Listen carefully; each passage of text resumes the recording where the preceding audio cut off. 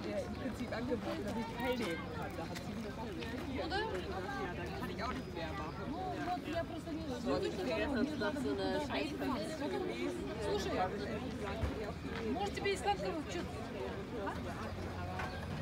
Что ты говоришь? Да, конечно, она не Das abfragen, weißt du? Ja, ja, genau. Sonder, gell? Я